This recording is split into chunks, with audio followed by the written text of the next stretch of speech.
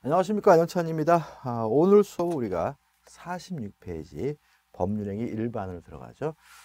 자 우리가 지금 기초 강의를 하고 있죠. 자 우리가 저번 주에 뭘 했냐면은 어, 법률 사실에 분류해 가지고 적법행위, 법에 반하지 않는 행위, 법에 적합한 행위를 우리가 둘로 나눴죠.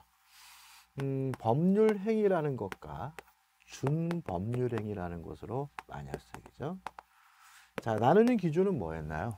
의사표시죠.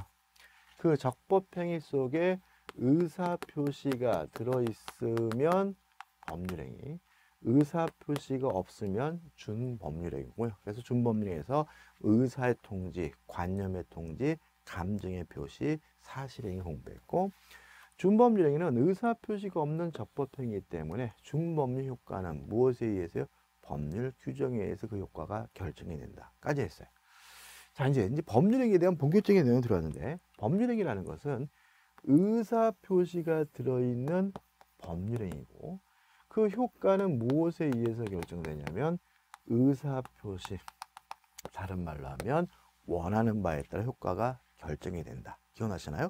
자, 그럼 교재 보시면 1번, 법률행위 의 해가지고, 뭐, 의사 표시를 불가결의 구성 요소라는 이런 말이 나와요. 왜냐하면, 의사 표시가 있어야지만 법률행위고 없으면 준법률행위고요. 음, 효과는 무엇에 의해서 결정이 되냐면 의사 표시에서 결정이 되는 거죠. 그럼 이제 2번 법률행위와 의사 표시 서설해 가지고 법률행위가 되기 위해서 반드시 의사 표시가 있어야 한다. 근데 조심할 것은 반드시 의사 표시가 있어야 하지만 의사 표시만으로만 구성된 건 아닌 거죠. 예를 들어 혼인. 자, 결혼하자 좋다라는 의사 표시 외에 혼인 신고라는 사실 행위가 있어야 비로소 둘은 부부가 되는 거잖아요. 따라서 법률 행위가 되기 위해서는 반드시 의사 표시가 있어야 되지만 의사 표시만으로만 구성된 것은 아니고요. 근데 이번 의사 표시와 법률 행위 관계 또 나오죠.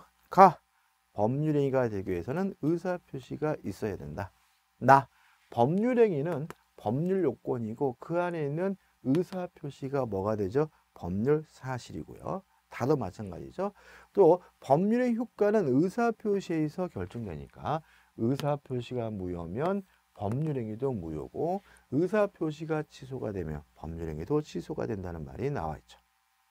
3번 법률 요건입니다. 자, 법률 행위가 성립하기 위한 성립 요건을 생각해 보죠. 자, 우리는 기초 강의이기 때문에 특별 성립 요건을 안 볼 거예요. 그냥 일반 성립 요건만 보는데.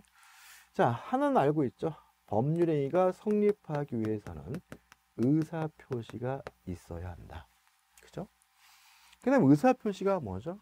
원하는 바, 바라는 바를 밖으로 표시하는 것이니까 원하는 사람이 있어야 되겠죠? 당사자가 있어야 되겠죠.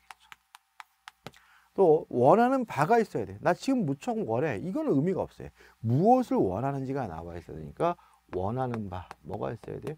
목적이 있어야 되겠죠. 다시 말하면 법률행위가 성립되기 위해서는 당사자 의사표시 목적이 있어야 한다. 이게 뭐죠? 일반 성립 요건인 거예요. 자, 효력 요건입니다. 자, 요 세 가지가 있으면 법률행위가 성립이 돼요. 문제는 성립한 법률행위는 무효일 수도 있고요. 뭐일 수도 있는 거죠? 유효일 수도 있는 거죠. 그죠? 따라서 성립한 법률행위가 무효가 아니라 유효가 되기 위해선 또 다른 요건이 필요한데 이걸 우리가 유효 요건 또는 효력 요건이라고 하는 거죠. 여기서 과거에 지문이 나온 적이 있습니다. 무효, 유효를 따지려면 법률행위로서 성립을 해야 되고요.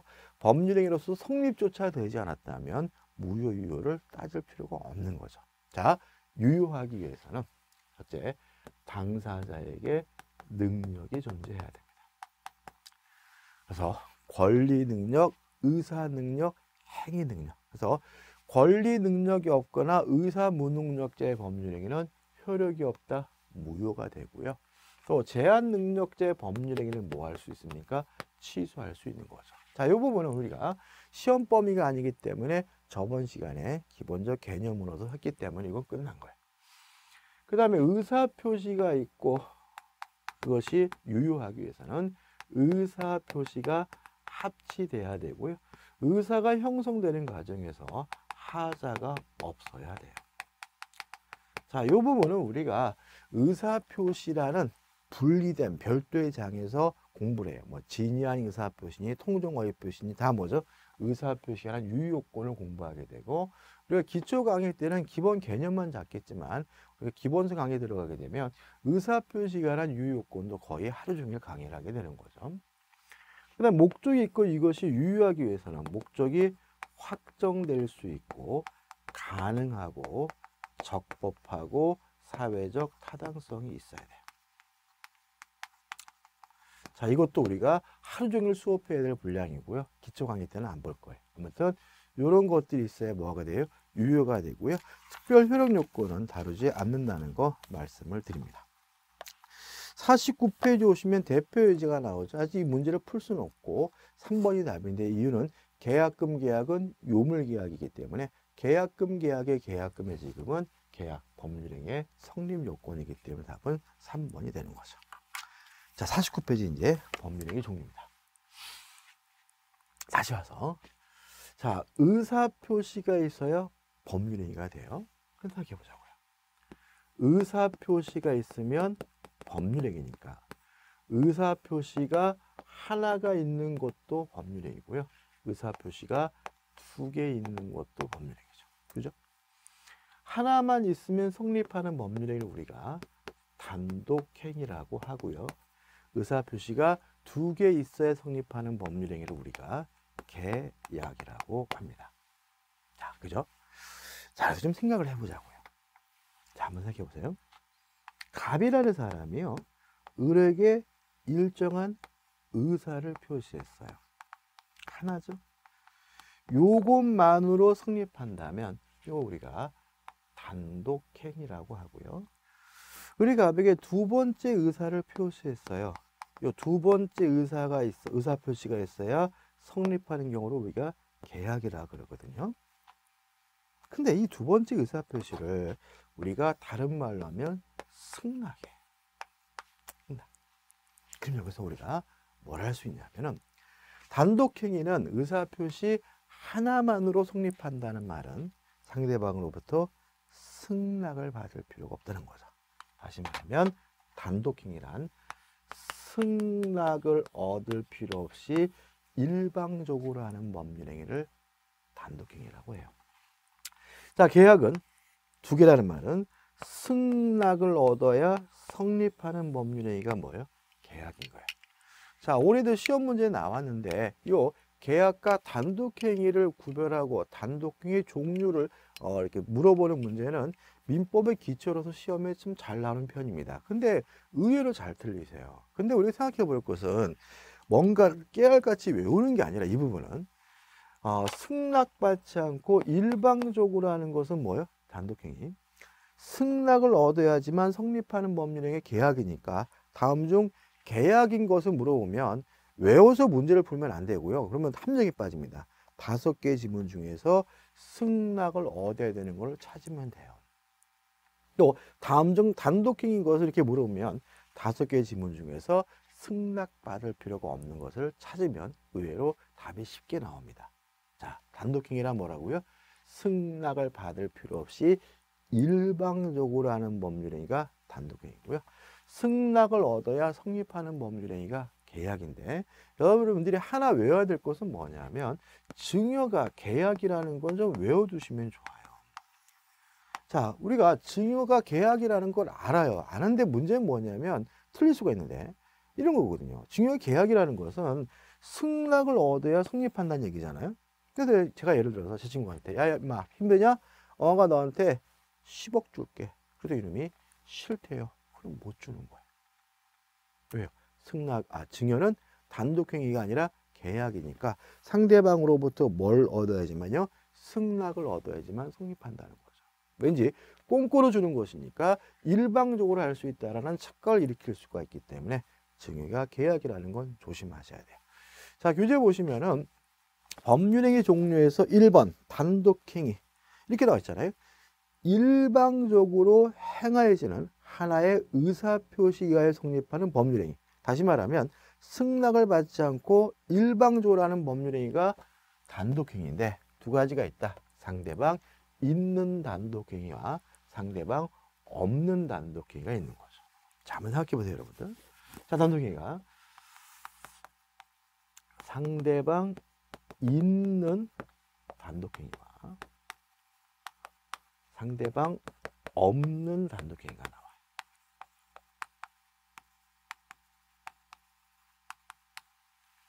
자, 한번 생각해 볼게요.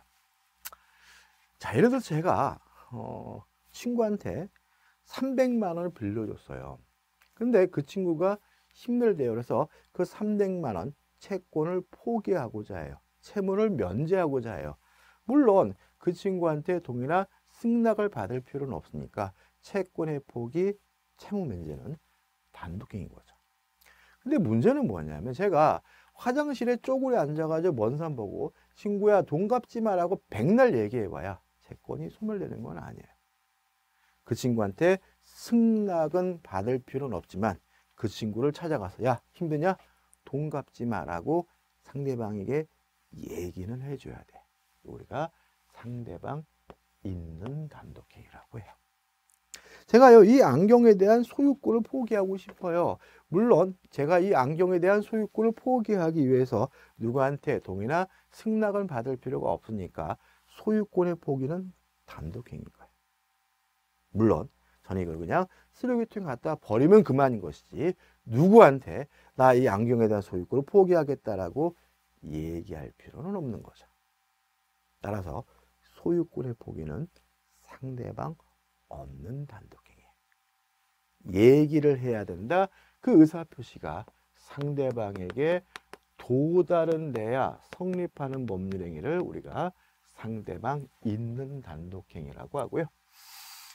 얘기할 필요도 없다. 그 의사표시가 상대방에게 도달될 필요가 없는 경우 우리가 상대방 없는 단독행위라고 하는 거죠. 자, 예를 보는데, 자, 상대방 있는 단독행위에서 뭐 동의, 채무 면제, 취소, 상계, 추인, 해제, 해지가 나와요. 지금 나 무슨 말인지 모르겠다. 알게 되니까 그냥 이거 외우지 않아야 돼요. 그러니까 예를 들어서 취소 같은 경우 사기를 당했다면 사기를 당했다는 이유로 취소할 수가 있는데 사기친 놈한테 동의를 받을 필요는 없으니까 취소는 단독행위고 다만 사기친 놈한테 얘기는 해야 되니까 취소는 상대방 있는 단독행위죠. 상대방 없는 단독행위예요. 자, 유언 유중이요. 유언 유중. 유중이라면 유언의 방식을 하는 방식이에요. 유언의 방식이라는 징해, 유중 같은 겁니다. 유언. 자, 이런 얘기입니다. 제가 유언장을 쓰고자 할 때 누구한테 동의나 승낙을 받을 필요는 없으니까 유언은 뭐죠? 단독행위인 거죠. 그 다음에 그 유언이 성립하기 위해서 누구한테 얘기를 해야 되는 건 아니에요. 상대방 없는 단독행위인 거죠. 다시 말하면 그 유언을 제가 써가지고 몰래 봉투에 넣어가지고 서랍에 집어넣으면 나중에 죽고 나서 뜯어보는 거잖아요. 따라서 유언은 상대방 없는 단독행위인 거죠. 근데 우리가 좀 조심할 것은 뭐냐면 어, 소유권, 점유권의 포기는 상대방 없는 단독행위. 그 다음에 소유권, 점유권 이외의 권리 포기. 이외의 권리 포기하는 거. 예를 들어서 채권을 포기한다. 또는 뭐 지상권을 포기한다, 저당권을 포기한다, 임차권을 포기한다 같은 소유권, 점유권 이외의 권리를 포기하는 것은 상대방 있는 단독행위라고 기억해 두시면 되고요. 교재 보시면 재단법인 설립행위가 상대방 없는 단독행위로 나와 있죠. 재단법인 설립행위. 자, 왜 그런지 한번 설명을 드릴게요.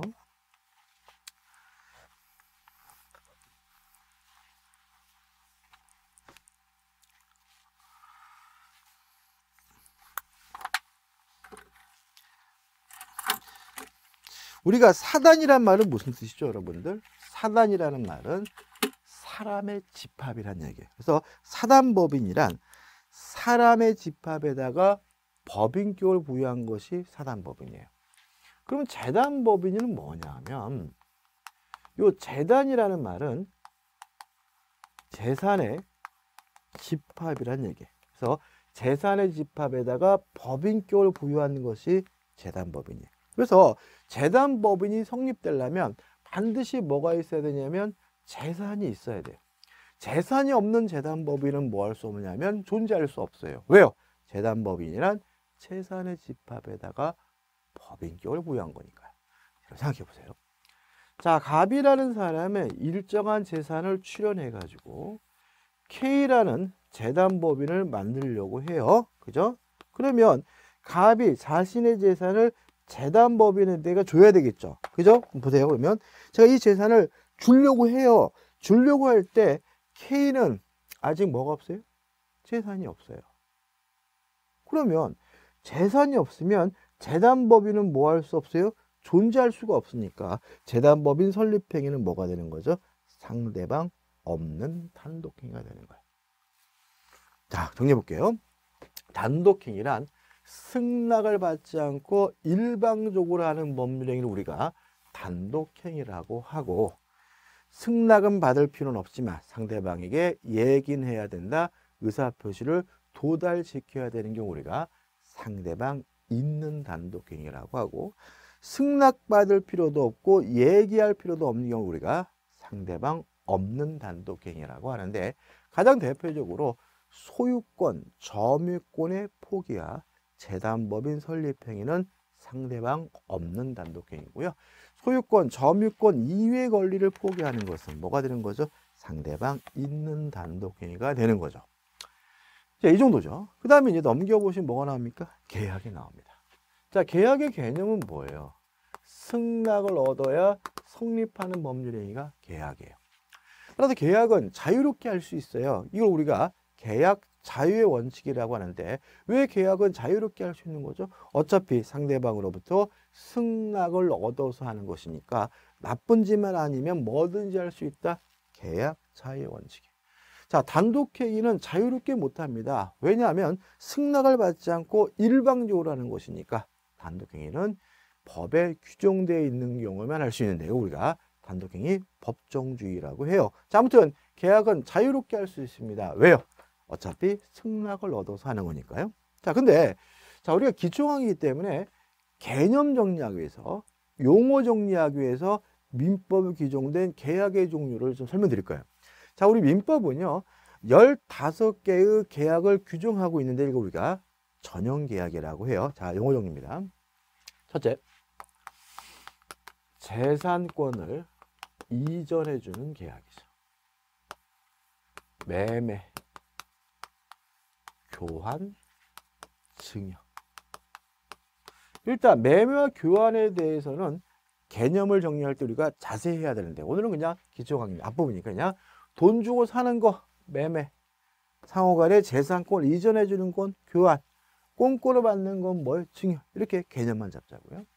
그 다음에 두 번째 아, 대차. 빌려주고 빌리는 계약에. 빌려주는 사람 우리가 대주라고 하고요. 빌리는 사람 우리가 차주라고 한다. 자, 대차가 뭐라고요?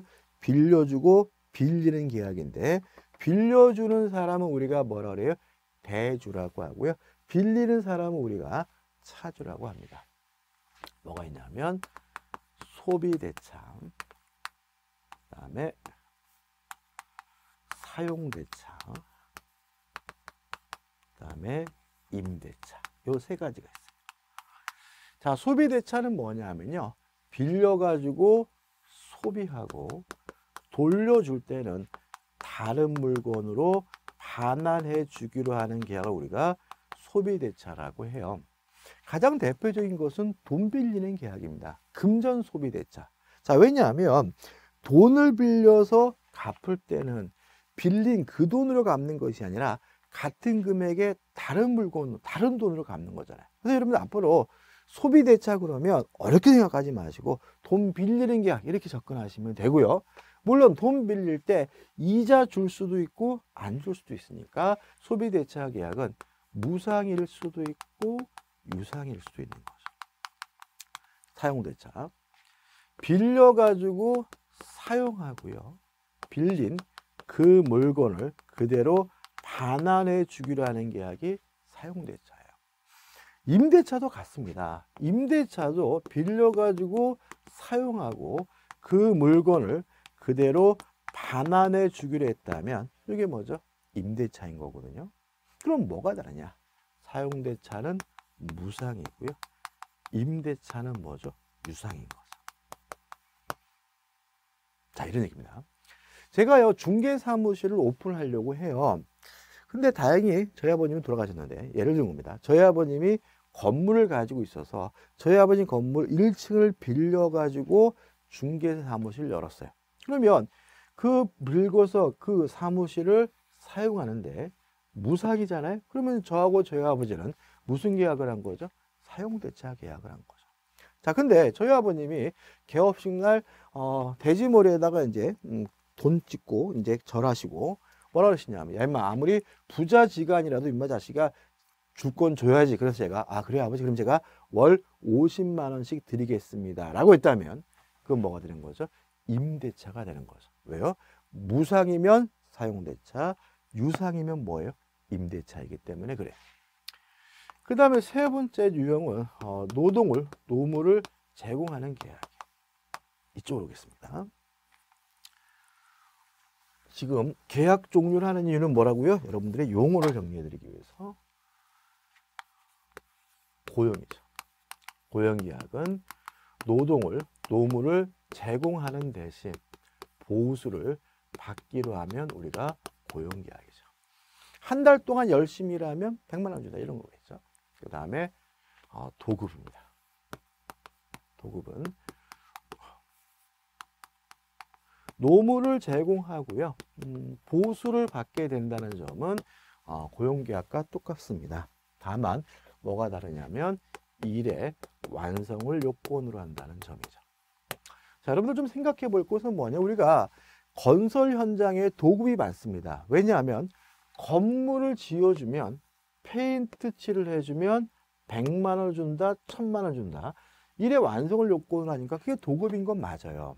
근데 어, 꼭 건설 현장만 있는 건 아니라는 거죠. 예를 들어서 만약에 제가 중개 사무실을 오픈해서 중개 보조원하고 계약을 하는데 한 달 동안 열심히 일해 주시면 제가 당신께 200만 원을 드립니다라고 계약을 했다면 그건 물론 뭐예요? 고용 계약인 거예요. 근데 이렇게 계약할 수 있죠. 자, 기본 급은 없습니다.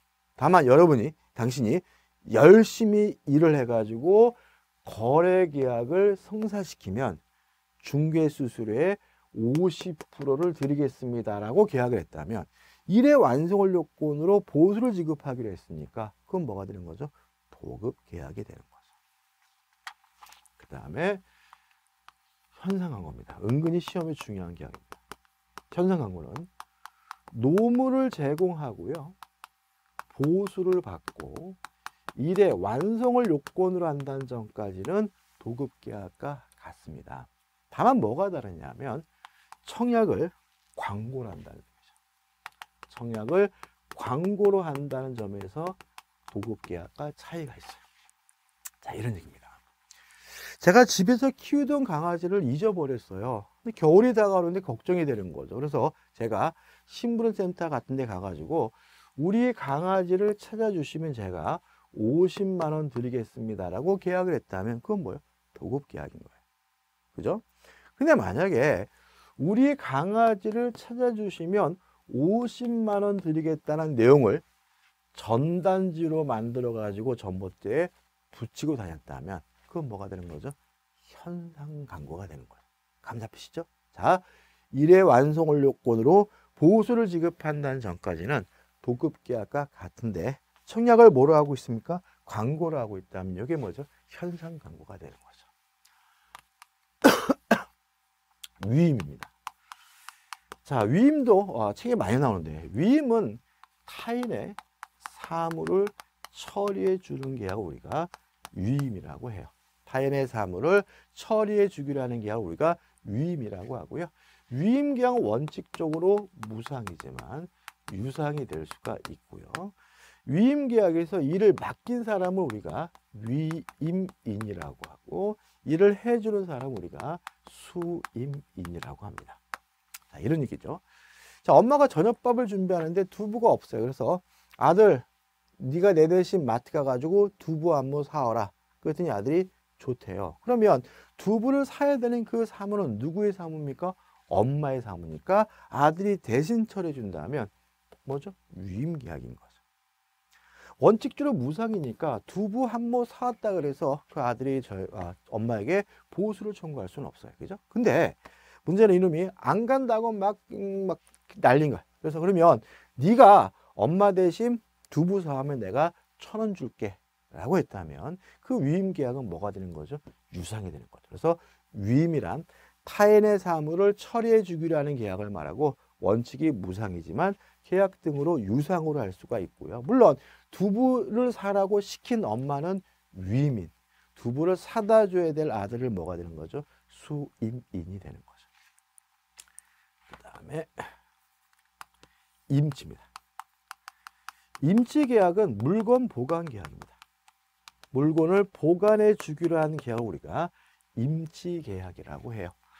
아, 여기서 용어인데 아, 임친, 수친 이 누군지만 알면 돼요. 이거는. 자, 제 친구가 저한테 가지고 야 카메라 좀 보관 좀 해줄래? 좋다라고 했다면 제 친구가 저하고는 뭐죠? 물건 보관 계약, 임치 계약을 한 거고요. 물건을 보관시킨 제 친구는 뭐가 되죠? 임치인. 물건을 보관해 주는 저는 뭐죠? 수치인이고요. 물론 임치 계약은 무상일 수도 있고 유상일 수도 있습니다. 그죠? 아, 여기까지 왔죠. 그 다음에 이제 마지막으로 네 번째 유형에서 이제 기타입니다. 조합. 조합은요, 여러분들이 농업협동조합 이런 거 생각하시면 안 돼. 원래 공동의 목적을 추구하는 계약이거든요. 근데 우리 가장 대표적인 것이 뭐예요? 동업이에요, 동업. 예를 들어서 제가 제 친구하고 반씩 돈을 내 가지고 포장마차를 운영하기로 했어요. 그럼 우리가 이거를 동업한다 그러는데 법적으로는 조합이에요. 그래서 여러분들이 앞으로 조합하면 동업자 이렇게 떠오르시면 되고 조합 계약하면 동업 계약 이렇게 생각하시면 돼요. 그 다음에 세 번째 종신정기금. 종신 죽을 때까지 정기적으로 돈을 주기로 하는 계약을 말하고요. 우리가 흔히 쓰는 말은 뭐죠? 연금이라는 표현을 쓰죠. 그래서 우리가 연금이란 말을 법에서는 민법에서는 종신정기금이라고 한다. 이렇게 기억하시면 돼요. 그 다음에 화해. 어렸을 때 많이 하셨죠? 아, 친구하고 싸우면 뭐 하셨습니까? 화해하셨죠? 그게 화해예요. 어른들이 싸우면 화해하지 않고 합의하죠. 그래서 보통 우리가 화해라는 표현도 쓰고 합의라는 표현도 쓰고요. 어, 무슨 계약이죠? 분쟁을 종결시키기로 하는 계약이죠. 분쟁을 종결시키기로 하는 계약을 화해 계약이라고 하고요. 아, 흔히 합의라는 말을 쓰죠. 마지막으로 여행 계약. 음, 여행 계약은 여행 계획에 그냥 설명드릴 게 없어요. 근데 재미 특이한 것은 여행 계약이 원래는 민법에 규정이 없었는데 시험 보면 아닙니다. 최근에 개정을 통해서 여행 계약이 전용 계약으로 추가된 거죠. 그래서 요 15가지 계약이 우리 민법의 전용 계약이고요. 민법 15개로 제한, 제한 나머지 것들은 비전용 계약이라고 하고요. 뭐 외우는 게 아니라 앞으로 이제 이런 계약들이 막 튀어나오겠죠. 튀어나오더라도 무슨 말인지는 알아야 되기 때문에 제가 계약의 개념을 설명드렸어요. 자, 이번 시간 여기까지 하고요. 어, 다, 아, 그 다음에 교재 보시면 합동행위라는 개념이 나오죠. 그죠? 합동행위. 간단히 봐야 되는데. 자, 우리가 계약이라는 것은 두 개의 의사표시가 교환적이라는 거예요. 교환적. 마주보고 대립된다는 거죠. 근데 사단법인 설립행위와 같은 법률행위는 여러 개의 의사표시가 있지만 그것은 대립되고 교환적인 것이 아니라 사단법인 설립하는 공동의 목적으로 향해 나아가거든요. 그래서 구심적이다. 의사표시의 개념이 그래서 그것을 우리가 합동행위라고 합니다. 그래서 합동행위란 사단법인 설립행위와 같은 의사 여러 개의 의사표시가 대립되는 것이 아니라 하나의 목적으로 하나의 목적에서 모이는 것을 우리가 합동행위라고 해요. 근데 조심할 것은 합동행위라는 것은 어, 최근에 개념 자체를 인정하지 않으려고 하는 것이 우리 다수의 태도예요. 그래서 우리는 앞으로 합동행위는 잊어버릴 거예요. 그래서 우리는 앞으로 법률 행위 하면 그냥 계약과 단독행위 두 가지만 가져갈 거라는 거 유의하시기 바랍니다.